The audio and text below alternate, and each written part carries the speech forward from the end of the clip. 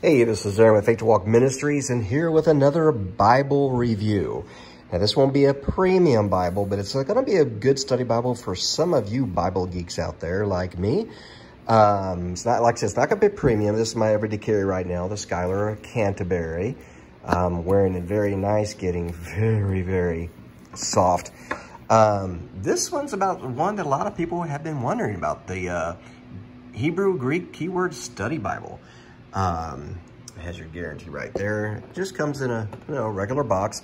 But this is a Bible that is going to be used in your studies. Um, it is a uh, weighty Bible. It is a wide Bible. Uh, might not be one you want to carry around, but you can if you want to. Might get some muscles. Um, but it's a really good Bible for study. It, it really brings out, once again, the Hebrew and the Greek words. It's always important to know, of course, there's uh, one of the rules you hear me say all the time is all doctrine comes from scriptures only, taken in context compared with the other passages of scriptures. And I'm going to be um, explaining one of those here in a little bit um, that goes into deeper. Another card it does give you, and this is in the Bible itself, is the gra grammatical codes to the grammatical notations. And I'm going to show you why this is an important part of understanding some of the Bible. Um, the Bible itself, once again, it's not a premium Bible. This is a genuine leather. Um, I do probably, probably believe it's going to be pigskin. It's not edge line. It's not perimeter stitched. It's just a paste down, but it's done very well. The folds are done pretty good. Uh, once again, not edge line. It is Smythe sewn, so the pages will be uh, not falling out. You don't have to worry about scratching this. Uh, most genuine leathers, uh, a lot of times they'll feel like bonded, but this one has a, it's a thick one. It's not a real thin one, so it has some thick leather in there. Um, kind of nice. And you might get, like even in this corner, might get loose here, so I might have to glue that sometime. But this is not going to be walking around with me. This is just going to be uh, just something that you would just have uh, on your desk and your bookshelf and bring out when you need it. Um, you do have the uh, the executive editor, Spiros Zodhiates, um, right there. And it's, and it's published really by, let's see here, AMG. And it uh, stands for Advancing the Ministries of the Gospel. And they've been doing that since uh, 1942. Uh, see here. You do have a personal word from the executive editor and a little bit on the second revised edition. Now, I'm going to go through this. Um, before I go through that, I'm going to just let you know, like I said, it is a big Bible. Um, it's pretty thick. I don't have the dimensions, but I would say that's a good two inches. Does have your Go Guilty. Hebrew Greek Keyword Study Bible King James Version, Red Letter Edition. You can get this in other versions as well. This one is uh, pretty well, I would say like a wide margin. It has, oh, I would say a good inch, at least on the sides, not on the top and the bottom, probably a half inch. Well, maybe an inch, I don't know. Sides definitely an inch. So you have places to do your notes. I'm going to show you the first, and it's really nice. Uh, good study Bibles are going to have this little explanation. I'm going to just cover it so you know what is out there and what it offers. So it does have, like this is an excerpt from the book of Acts, it does have a book summaries, and it goes into a lot of the, the historical, cultural settings and things like that. Um, let's go through, and when you read the Bible, let me just show you this. So you're just going to have a lot of numbers, a lot of underlining, bold numbers. You're going to have uh, numbers that's not very bold. You have center column references. You have letters. We're going to go into that by looking at this. So once again, you have the introduction is given for each book. Here it shows uh, a bold number right here. It says identifies the keywords or phrases that may be studied further by looking up the test numbers in the appropriate dictionary. I'll show you that in a minute. You have a Hebrew and New and New Testament, and is uh, linked to Strong's as well. Right here, you have single uh, italicized superior letters. Preceding a word refer to cross-references. This is something that I think is really cool, and you're going to see more of this. I'm going to show you that, like a PPT, uh, multiple superior letters uh, from F, M, and N, italicized preceding a word of the New Testament, refer to the grammatical structure of the Greek word and are explained in the grammatical notation section. And that is really cool. I'm going to show you what that is. And some verses, you're going to see little uh, little keys, and that'll say there's notes in the bottom of the page. Identifies exploring notes in the bottom of the page. Uh, of course, your it is red letters, so the words of Christ are in red. You have um, italics marginal notes signifying alternate readings of the biblical text. Now, I haven't looked into that and see if it uh, kind of complements the King James. I might look at another passage here in a moment. Uh, see? Abode, that one has two numbers. Multiple numbers indicate that an underlined word or phrase is translated from more than one word in the original language. Interesting. Italics are used in the text to indicate that words are not found in the original Hebrew, Greek, Aramaic, or Greek text, but are implied by it, which that means is uh, that's words supplied by the King James translators to help the sentence be understood better. In uh, inferior numbers, you got some that are bold, some that are uh, not bold, indicate that the entry in the, in the dictionary for the corresponding Hebrew, Aramaic, or Greek word contains only Strong's definitions.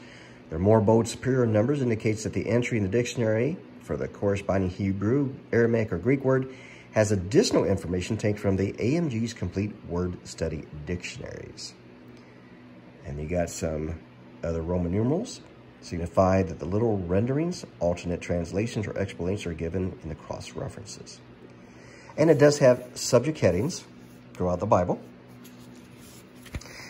So, actually, it's a, it's a pretty good Bible for studying. It is, it is weighty, so I would probably say, once again, this would be a desk, uh, something you put on your bookshelf and bring out when you need it. For instance, say you're reading, I'm going to show you, for instance, of that grammatical notations. Um, in a moment, let's go on and just look at the, I, I want to show you some things so, so quickly, but I want to go on and show you what the Bible has. So it goes all the way through Revelation. So Revelation ends there. So all of that is just your notes, dictionaries, things like that. Right here is the same thing, that little card I showed you. Grammatical codes to the grammatical notations. And this is something I'm going to show you that's really cool grammatical notations, and this breaks down further what these are. So it explains them. Also have a pretty good concordance. And it does have, uh, you know, the people in it as well. Such as like Abraham. And you have the first verse, usually, where that starts. Pretty good size concordance. And back here, transliteration of Hebrew vowels. So it tells you how to, you can look at those and kind of see how to pronounce as well. But don't fear, if you don't know how to pronounce it, they give you a pronunciation right after that. Like uh, Abdon, it has the Hebrew word here. It has how you would pronounce it. So that's very interesting. So this is all keyed from the text. So a word will have the key number, and you look it back here. It's the Old Testament dictionary. it's thick. And then you have your New Testament. And of course you have the Greek alphabet. How to pronounce those. Even has breathing marks. So that's cool. Uh, so once again on these, you got agathos, says you how to pronounce it. And it goes into a lot of detail about some of these words. But once again, as with everything, remember when I said that all how we come across all doctrine? When you read a word, a lot of times in the Greek, Hebrew and Greek, it's going to give you a lot of different ways that word can be used. So a lot of people twist scriptures Yes, I say twist scriptures because they'll, they'll read the Greek, they'll read a word, and it looks like the word they would want the verse to say, so it actually can change the meaning. So how you read the word is in context. And does it does what you're saying about that verse that you're trying to change the word in, um, is it now contradicting other scriptures? Is it now totally been saying it can't be that because of the context you're reading it from? And we're going to look at that one of those here in a moment. All right. So I'm going to look at two passages and how this Bible is useful.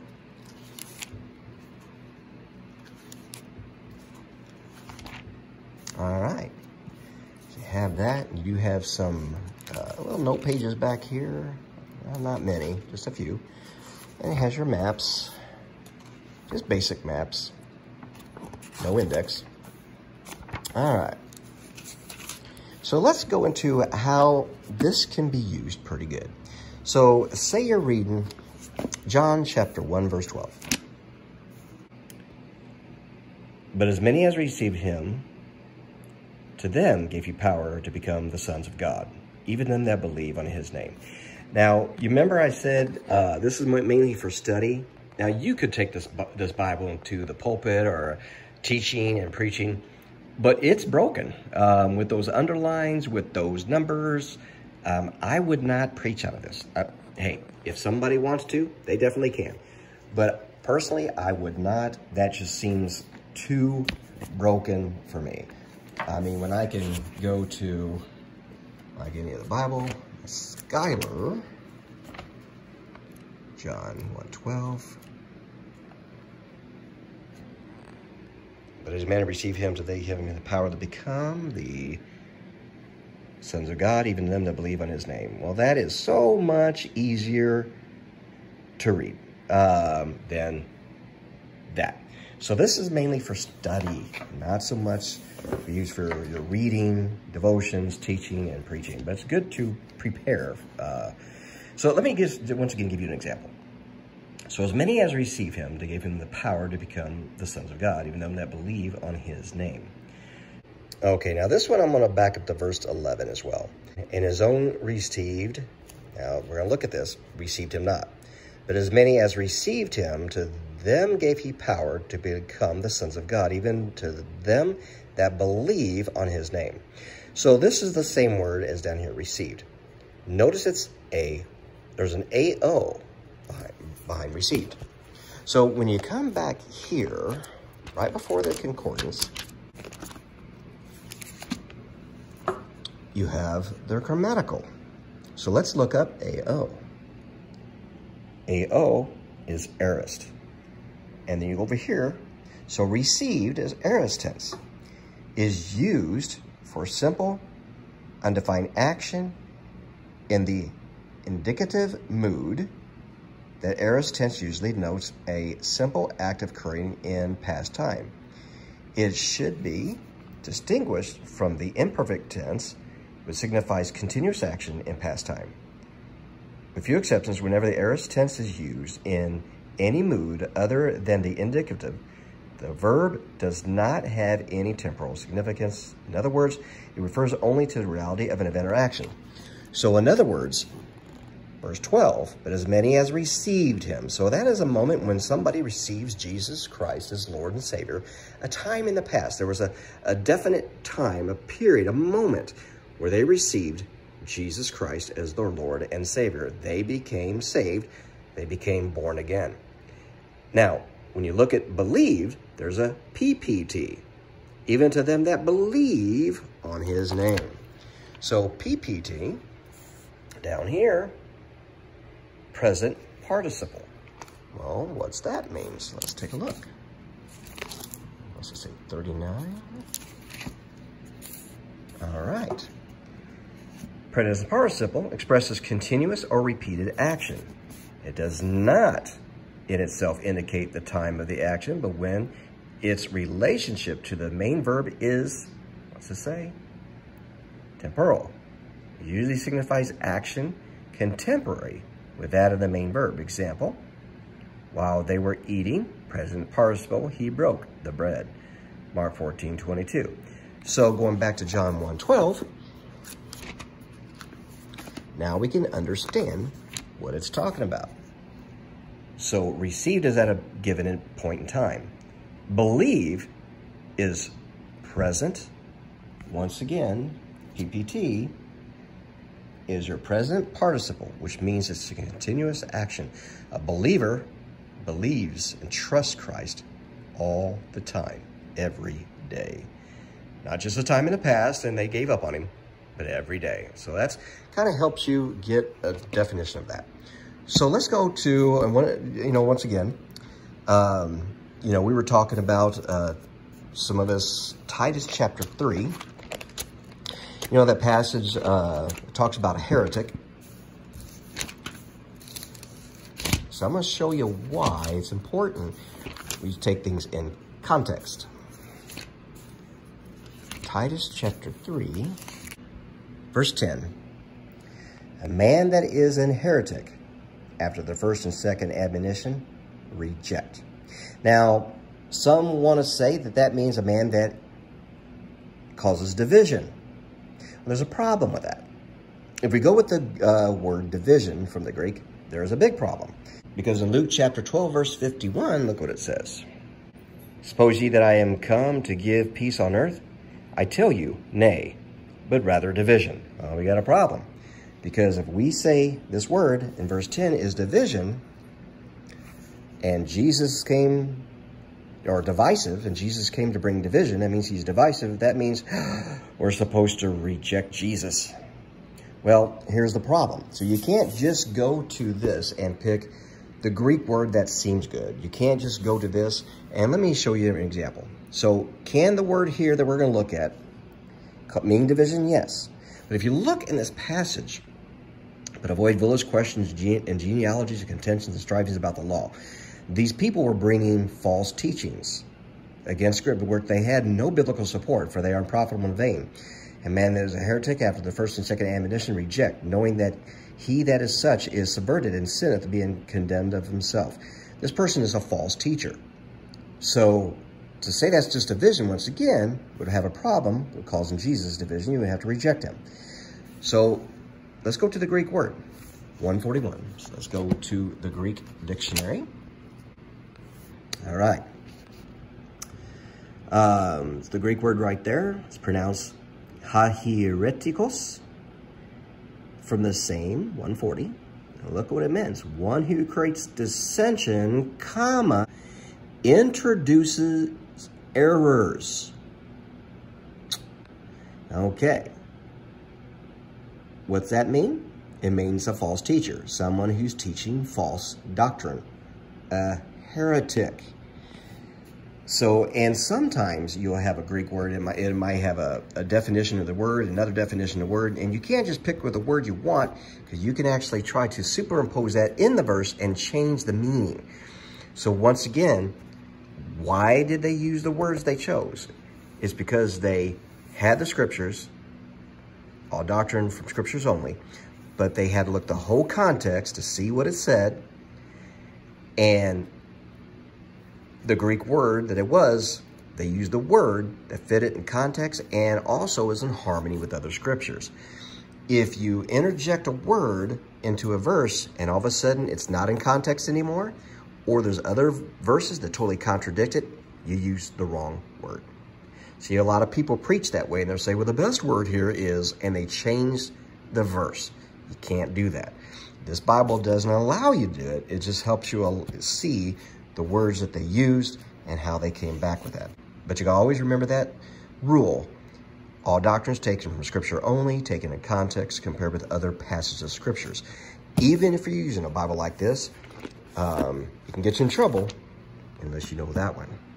So I'll encourage you, if you're studying the Word, try to know what the Word says. If you come across a word you're having difficulty with, then use this to try to figure out a little deeper meanings for it. Um, so that's the review. Once again, it's a good Bible to have for a study, to help out. But the biggest thing, and don't forget, as right before you uh, read the scriptures, First of all, be, be, saved, be a Christian, because the Holy Spirit, the author, will be in you and helps you understand scriptures. He illuminates it for you. Pray before you read. Um, let God speak to you through it. Um, I tell you what, there are people and pastors and teachers for decades and decades and centuries who have understood and preached this word so well. They never had anything like that. It's a help. But let the Holy Spirit uh, just show you what he wants to show you for your life and as you preach to those you preach to. Hey, thank you for watching. God bless.